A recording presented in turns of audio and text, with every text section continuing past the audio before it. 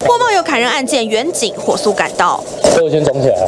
就在人群中，一名男子看起来有点驼背，其实他是被害人，因为身上有刀伤，疼痛弯着身躯。但另一头的嫌犯，他伤势更严重。这么动啊？哎，我们等一下看一下，可能要送亚东哦。躺在担架上，已经昏迷过去，全身都是血。就是在社区的大楼，而嫌犯呢是先掌握到被害人的行踪之后，知道他准备要出门了，因此他事先跟着其他住户的车子进到这个社区的停车场里面，埋伏不到二十分钟的时间，目标出现了，酿成这起见血案。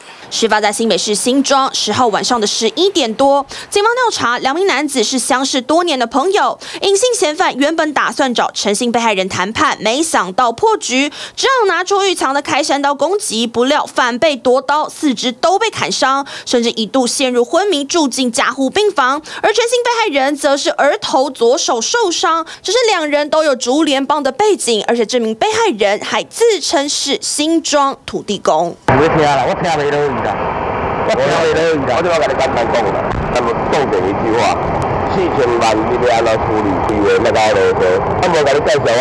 语带恐吓，要对方去打听打听自己的名号。陈姓男子绰号南哥，涉及多起暴力讨债，甚至还曾经跟竹联帮名人会互相路人痛殴。平时也从事土方生意，这回他对案情避重就轻，不排除是黑帮内部的利益关系引来杀机，得要警方查个仔细，否则冤冤相报这波结束，下一波不知何时出现。TVB 新闻，我就选吴新燕，新闻室报道。